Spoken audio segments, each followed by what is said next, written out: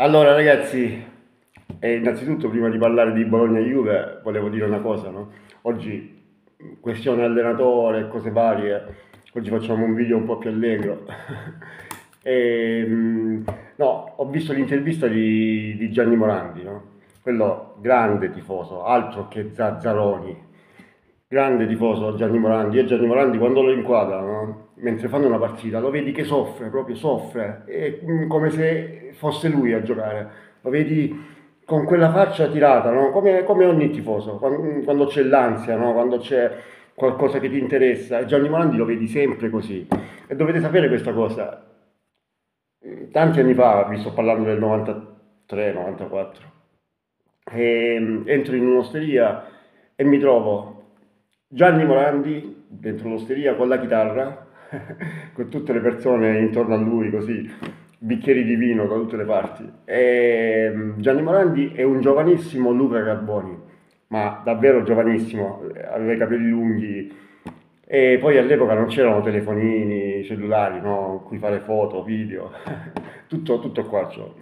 È grande, aspettate, e poi non è finita quindi eh, Gianni Morandi con la chitarra, e seduto accanto a lui, che stava proprio seduto sul tavolo con il piede sulla sedia, Gianni Morandi con la chitarra. Seduto accanto a lui c'era eh, un gio- davvero giovanissimo Luca Carboni e poi non mi trovai così pertanto, pertanto, cioè che se n'era andato tre minuti prima Lucio Dalla, che stava insieme a loro. Grandi, grandi, stavano facendo divertire tutte le persone là dentro, così con i, e c'erano tutti questi bicchieri di vino di Luca Carboni, di Giorgio Molano.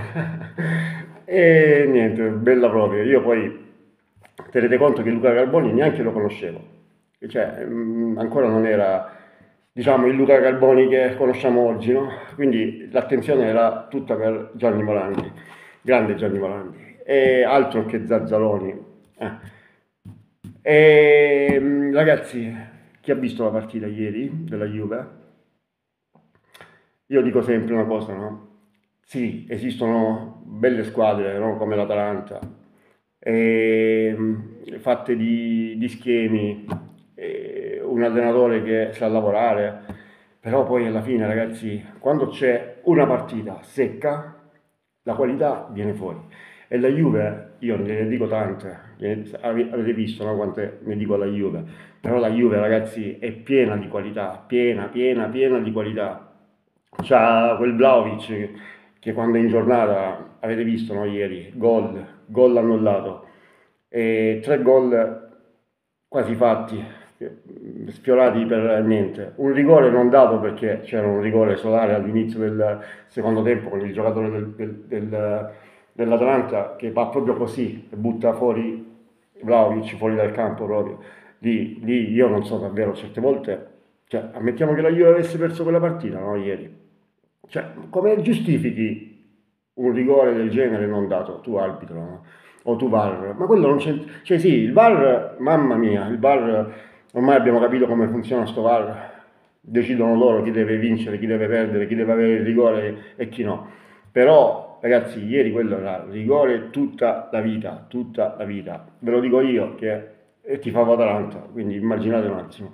Però la qualità, ragazzi, di questa squadra e a parte il fatto che la cosa buona, diciamo, no, che, che, mi piace della Juve è la compattezza difensiva, no?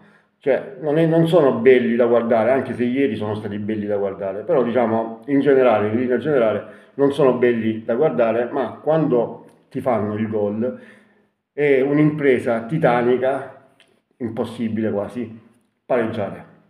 È un'impresa titanica. Tu quella difesa non riesci proprio a fargli male una volta che passano in vantaggio. Magari, perché? Perché ci mettono due uomini ancora in più dietro e ciao proprio. Poi avete visto, no? Senza Locatelli, un'altra Juve, un'altra Juve. Quando non gioca Locatelli si alza la qualità della Juventus, si alza proprio, l'asticella proprio, arriva a, a livelli... E ieri la Juve ha dato una lezione di calcio all'Atalanta e, e con mio rammarico, ce lo dico con rammarico davvero, io ti favo Atalanta e ragazzi, questa è la Juve, che, che, cioè secondo voi questa è la Juve che troveremo lunedì? No. Queste sono squadre che in una partita secca danno tutto quello che hanno e hanno tanto da dare. E, ehm, poi in campionato, quando devono distribuire no, tutte le loro energie nelle 38 giornate, non le vedi così. La Juve, no, non le vedi così le grandi squadre, eh? la Juve. La Juve di quest'anno in campionato è stata davvero poca roba, molto inferiore al Bologna. Quindi eh, ieri no, mm, c'era un, un, amico che commentava, eh, caspita, se, se, questa è la Juve allora eh, sono guai per lunedì. No, la partita di lunedì sarà totalmente diversa da quella di ieri che era una finale. La è, per la Juve non è una finale, anzi lo è più per il Bologna che ha piacere a sconfiggere una Juve che per la Juve stessa che secondo me ha dato tutto ieri, ha dato tutto ieri, quindi arriverà anche un poco scarica a Bologna. Ragazzi, chiudo, ho detto oggi facciamo un video un po' più, più soft perché ci stiamo, io mi sto rompendo con questa questione allenatore, mi sto davvero rompendo. Ehm, la, ho letto una storia micidiale stamattina del pensionato che a ottobre si era giocato 10 euro sulla, sul Bologna in Champions, lo davano a 100, ha vinto 1000 euro, grande il pensionato di Castelmaggiore, grandissimo, perché ehi ragazzi andate buttate le 10 euro a ottobre.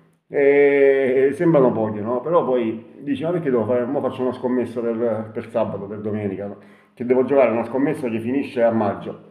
Quello si è giocato 10 euro e ha vinto 1000 euro e io sono contento Spero per quella persona gli auguro tanta felicità e tanta salute. Ciao.